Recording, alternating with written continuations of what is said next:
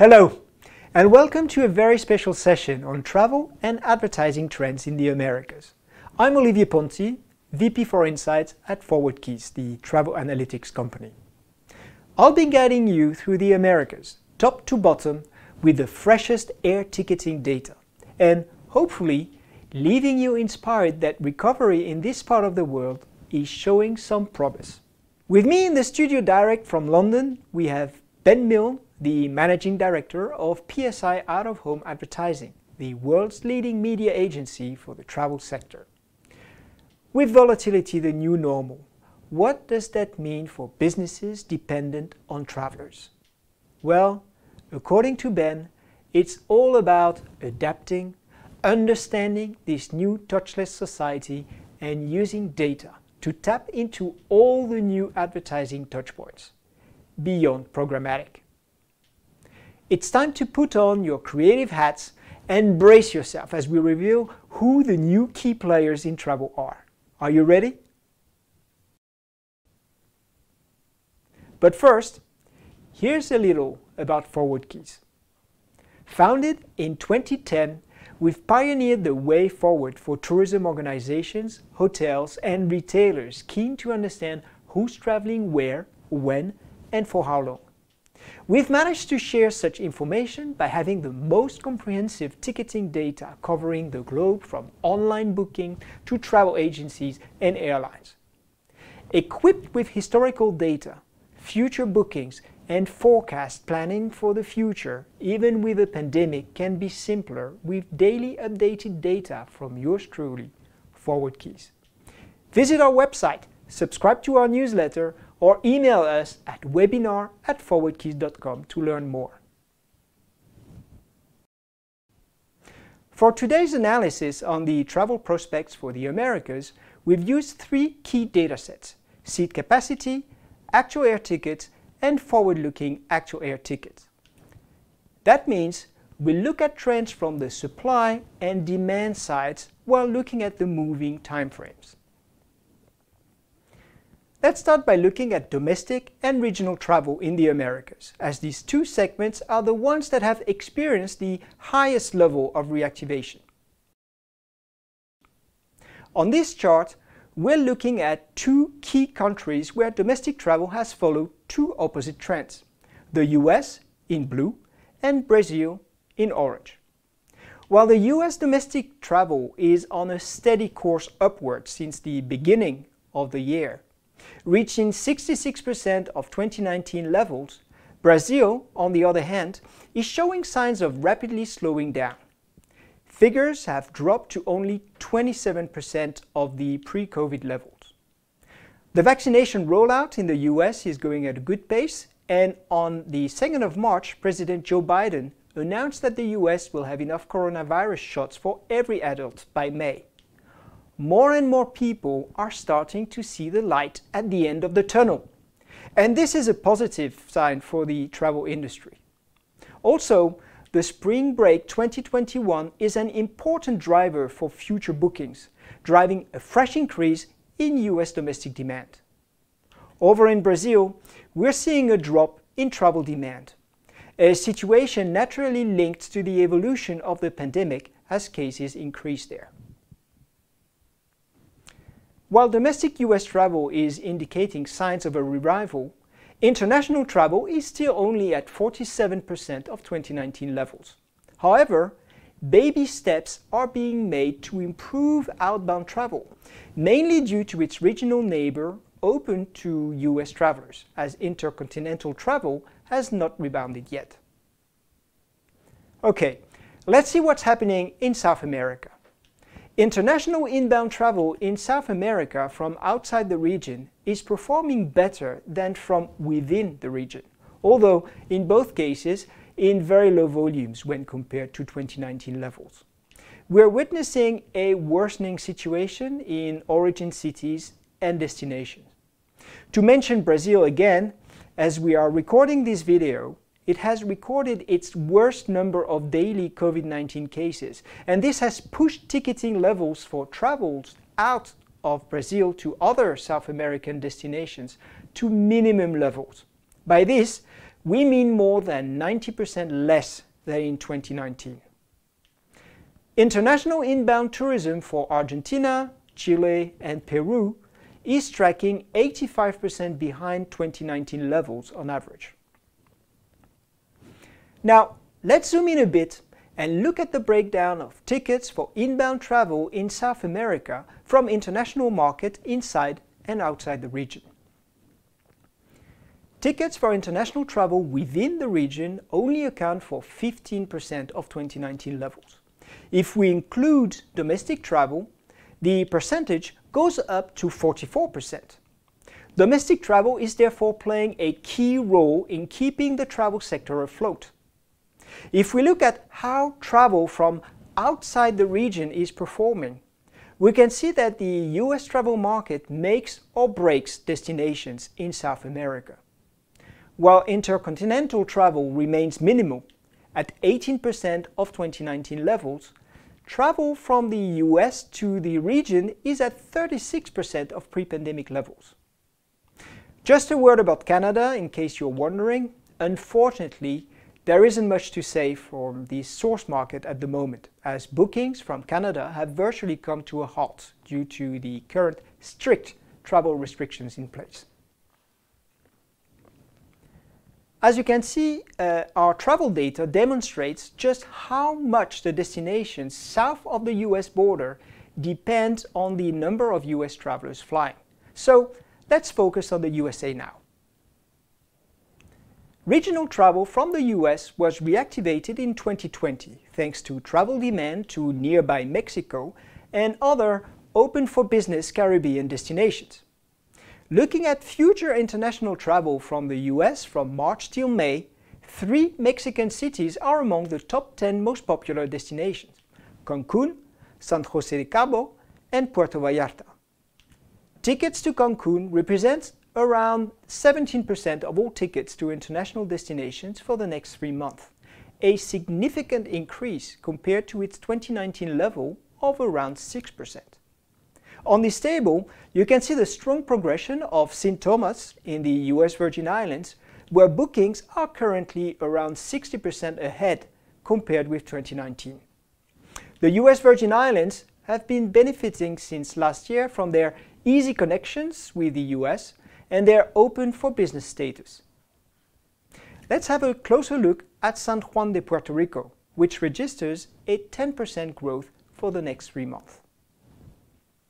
Puerto Rico is growing in its popularity and its results have been recently boosted by a new competitive advantage. Since January 26, US travelers going back home need to present a negative COVID-19 test, taken three days before their return flight. However, Puerto Rico is a US territory, and as such, Visitors from the US mainland do not need a negative coronavirus test before returning home. Bingo! Although the Center for Disease Control and Prevention recommends getting tested three to five days after arrival and staying home for seven days after a trip to Puerto Rico as a precaution measure, the fact that a negative test result is not compulsory puts Puerto Rico in a very good position as one of the most accessible travel destinations for Americans. This is another example of how any changes in the legislation related to travel restrictions or new requirements may affect travel flows and travel behaviors. Let's have a look at new trends regarding travel behaviors. And let's now see how travel behavior patterns have changed from pre and post COVID-19, still using travel from the US as an example. A notable change in behavior patterns is that the number of last-minute bookings has soared. We can see this very clearly illustrated in this chart, which compares the lead time for a trip from the US to the Dominican Republic in 2019 and 2021. In 2019, for a trip to take place between March and May, 59% of US travelers booked their trip to the Dominican Republic at least two months or more in advance. In 2021, the situation has completely shifted as 59% of trips have been booked less than two months before the departing date. Another trend worth mentioning is that while it is true that fewer people travel than in the past, it is also true that those who travel tend to stay significantly longer at their destination than before. For example, US travelers to the Dominican Republic. Travelers staying three or more weeks accounted for 9% of all trips in 2019, while in 2021 they account for 22% of trips. Shorter stays of five nights or less have dropped from a 46% market share in 2019 to 33% in 2021. One of the reasons why longer stays are relatively more popular now is that the visit to friend and relative segment is showing a higher degree of resilience than average. We can see an example of this phenomenon on this chart, which focuses on US travel to India and shows that the share of the VFR segment has increased quite significantly. It is telling that India currently ranks in fifth position for international travel from the US and first outside the American continent, a performance no doubt linked to the fact that Indians are the second largest immigrant group in the US after Mexicans.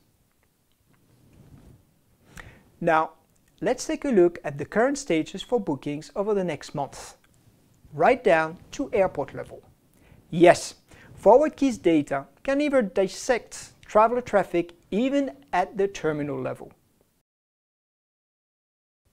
In these tables, we're looking at the most resilient US airports for international travel, comparing 2021 with 2019. To be clear, we're looking at departing origin airports to travel internationally, so where the trip first originated for the international trip. And we're using two indicators, scheduled seat capacity in blue and confirmed tickets in orange. Looking at these top 10, we can see that both rankings pretty much are in line and that Charlotte and Dallas lead as the best performing airports. As leisure is currently driving demand in the US market, all US airlines are deploying capacity to leisure destinations. Airlines are deploying capacity from their hubs and focus city to the leisure market. Think of American Airlines increasing its capacity to and from Charlotte and Dallas as an example. Looking at top performing airports for domestic travel, scheduled seat capacity is very close to pre-pandemic levels, which is a positive sign. Leisure is also driving demand for domestic travel. The major destinations which are holding up the best are all holiday hotspots, and it is therefore no surprise to see that the top five destinations are all located in the sunshine state of Florida. Moving ahead and looking into the summer, all indicate that the situation should keep on improving. Departures from US airports, all travelers included, were 68% below 2019 levels during the last 12 months. For the next three months, departures are behind by only 33%, and they are behind by 29% when looking at the June to August period. There is this room for cautious optimism here, especially if the vaccination campaign in the US keeps progressing at its fast pace.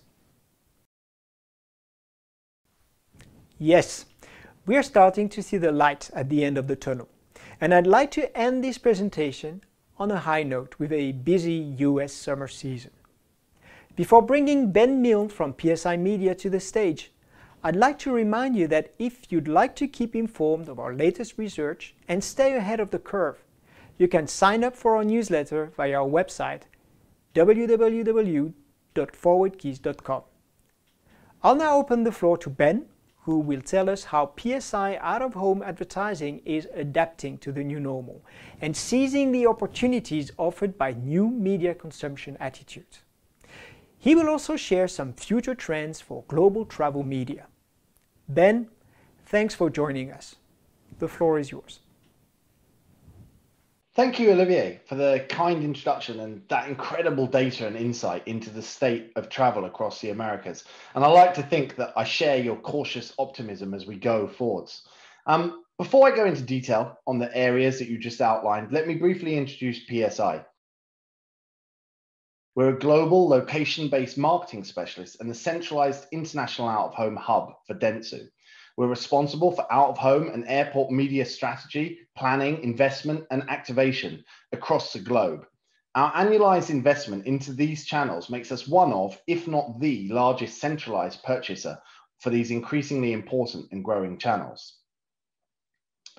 Now, it's clear from the data that you've just shown that the way that people navigate the world underwent a monumental shift in 2020. We went from global to hyper local within an incredibly short time frame. And over the last year, 93% of countries have imposed some form of mobility restrictions domestically and internationally. And of course, we've all been forced to adapt our businesses and our behaviors in order to navigate this greater level of uncertainty that has been brought about. Fortunately, the global travel sector is familiar with volatility from previous financial crisis, geopolitical tensions, natural disasters, and cross-border viral outbreaks. The sector has weathered it all, and it's always emerged better and stronger than before. Although this pandemic, being the first truly global disaster in the modern age, has brought with it unprecedented levels of challenge and underlined that volatility really is the new normal. So the only way for us to effectively address these monumental shifts in the patterns of movement and behavior is through better audience understanding, more agile planning, and more dynamic activation. And all of this is made possible through more relevant, more frequent, more reliable, and more actionable data intelligence. At PSI, we've continued to develop our global data infrastructure throughout the pandemic, leaning heavily on our partnerships with experts like ForwardKeys to ensure that we're able to help brands navigate the ongoing uncertainty with genuine audience intelligence and understanding of mobility patterns, ensuring that the best outcomes come from using the channel. Now, Dell Technologies are a major brand that we work with, who, like many on today's call, have had to adapt their strategy in global travel in order to reflect their audience's new travel behaviors across North America and LATAM. Faced with a changed pattern of travel, we've used our access to real-time booking data to help Dell Technologies shift their media presence across key hubs that continue to perform for them against their core business audience, whilst cutting back on those that were not. In parallel, we use granular defined audience segment specific insights to recalculate the value being delivered by long-term placements in the new normal and ensured that this value was properly compensated and redistributed throughout the campaign lifetime. Key private jet operations across North America that were less impacted by the drop in passengers were prioritized for Dell during peak booking periods and supported by a mixture of high impact out of home sites and digital solutions across key airport hubs. This agile, data informed real time planning allowed Dell Technologies travel media activations to remain effective throughout 2020, running across four key American hubs in a cluster of relevant private jet operations. But as I mentioned earlier, it isn't just mobility that has changed. Media behaviors have adapted as well. The travel experience is going touchless. Increased investment in digitization across the consumer journey have been driven in large part by consumer demand and the response to this from companies in the sector looking to rebuild passenger confidence. In a recent global travel sentiment survey, we found that 87% of consumers now prefer to shop in stores with touchless options, while 66% are more willing to scan a poster or a screen to discover more product or service information. Brands need to adapt to this new landscape by adopting digital first solutions that allow the blurring of offline and online for a richer travel experience. From being able to scan an in flight entertainment screen to choose your movie on Etihad, or using WeChat Shake on a Martell advertisement for a redeemable e voucher in Singapore duty free, the new digital landscape is offering enhanced opportunities that allow brands to personalize engagement with their most valuable consumers across the entire travel journey. Now, a great example of this blending of offline and online um, that I wanted to highlight now is this short video, which is highlights a campaign by Latcom for TAG. Latcom built a mobile and out-of-home domination campaign for TAG Heuer across Benito Juarez International Airport in Mexico City. The campaign focused on raising brand awareness of the TAG boutique inside the airport, along with their Formula One association in the run up to Christmas, with incredible and effective results.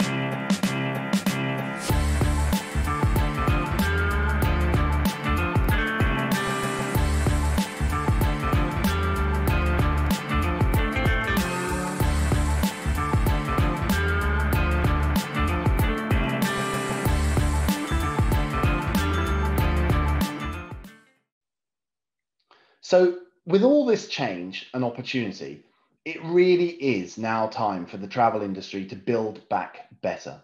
The new technologies, behaviors, and attitudes that we've explored in a small way today are really allowing us to reshape the global travel experience of tomorrow. For both travel providers and advertisers alike, we see that a renewed emphasis on sustainability, audience led solutions, and increased digitization will lead to success in the new tomorrow. So we're looking at three important buckets as we move, move through 2021. Traveling with purpose. Consumers have become far more conscious of the impact of the way that they choose to travel. According to American Express's Global Travel Trends report, 68% of consumers are trying to be more aware of sustainable brands to support. The need for brands to communicate the values that they stand for has never been more vital.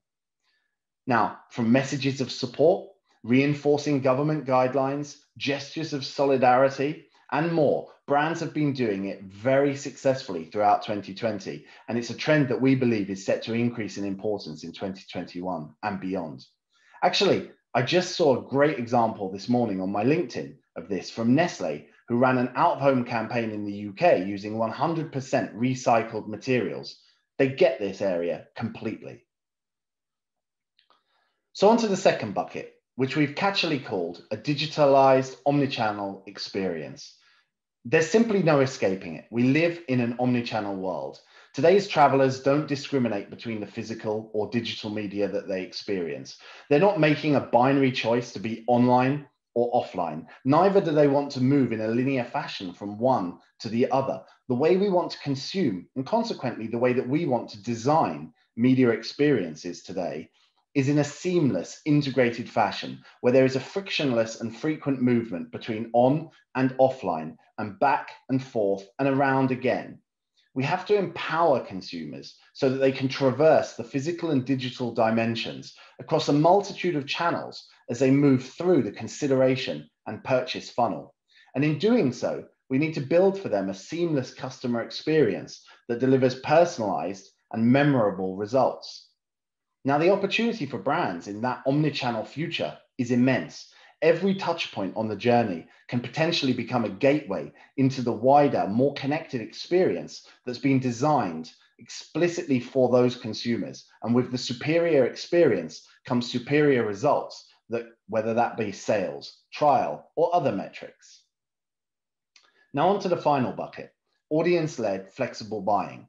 So with an increased understanding of audiences through more relevant and granular data and new digital technologies that allow us to activate on that data, the ability to run targeted media campaigns has never been greater. With digital screens inside airports, we've seen an acceleration towards what is known as guaranteed audience buys, a new way of accessing the medium. Airports such as Hong Kong and Copenhagen have fully embraced this kind of programmatic out of home initiative and technology in order to provide the ability to plan, buy, and serve advertising against a given audience in a more flexible way. In a world where uncertainty will continue to exist for some time yet, we believe that this kind of approach will be fundamental to rebuilding confidence and investment back into the global travel media segment in 2021 and 22. So I wanted to finish off with one campaign that I think truly highlights the power of location intelligence in driving smarter, flexible solutions. And that is one from United Airlines, whose hub in New York is at Newark. United wanted to combat the preconception that JFK and LaGuardia airports were the obvious choice for getting in and out of New York City so our team in the US engineered and executed a hyper-local digital out-of-home campaign for United Airlines that posted real-time drive times to Newark, Liberty International Airport versus JFK or LaGuardia. Using consumer data and a synchronized traffic feed, high frequency messaging was delivered to more than 500 digital out-of-home screens across New York, including Link NYC kiosks, digital bus shelters, digital newsstands, and digital taxi tops.